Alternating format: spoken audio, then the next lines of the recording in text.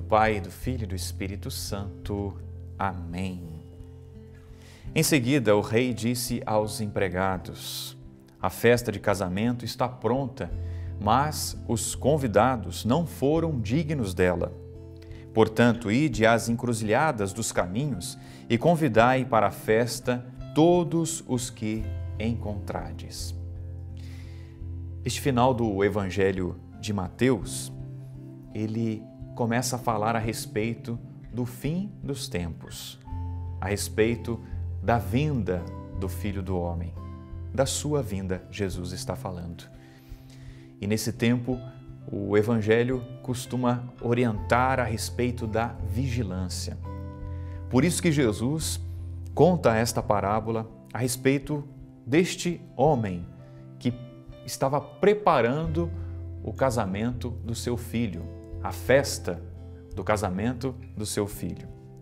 E o rei, né, este homem, este rei, chamou então os seus convidados para a festa.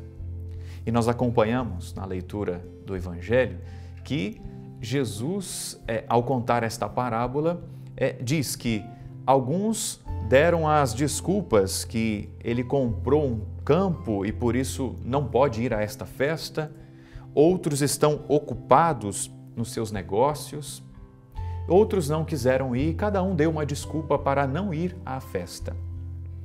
Por isso que o rei então ficou ali irritado e mandou então o empregado chamar os de fora, para que eles pudessem participar da festa. A festa já estava pronta e agora? Como é que vai fazer?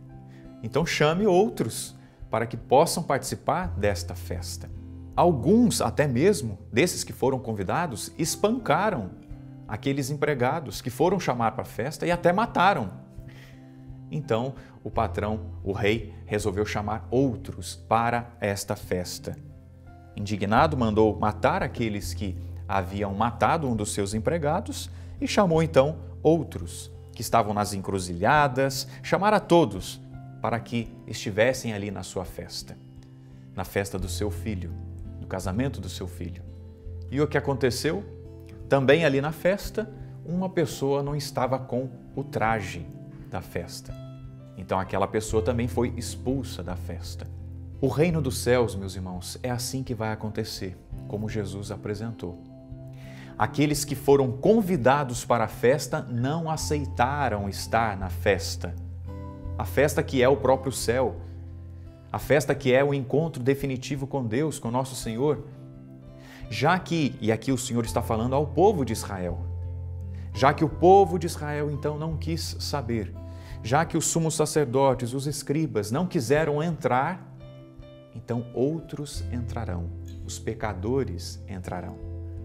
E os pecadores então foram os convidados para a festa. Mas, padre, tinha um aqui que não tinha o traje da festa e estava lá. Para dizer que também na festa do céu não dá para entrar com qualquer veste.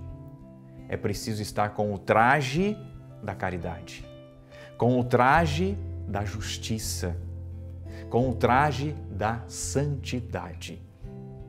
Meus irmãos, nós somos todos convidados para a festa, para o banquete do Senhor. Mas nós precisamos estar com o traje da caridade, com o traje da justiça, com o traje da santidade. E de fato, aqueles que estão ocupados com muitas coisas não entrarão no reino, porque não obedecerão ao convite, e é um convite, não é? Ninguém é obrigado a entrar no reino dos céus, é um convite. Mas Nosso Senhor deseja que todos estejam lá no reino dos céus. Mas para entrar também nesse reino, é preciso estar com o traje da justiça, com o traje da caridade, ou seja, com o traje da santidade. Peçamos essa graça ao Senhor neste dia, de ouvirmos a Sua voz, o seu convite, de entrarmos na festa, mas de entrarmos na festa com o traje correto, ou seja, vivendo a santidade de cada dia. Abençoe-vos, Deus Todo-Poderoso, Pai e Filho e Espírito Santo. Amém.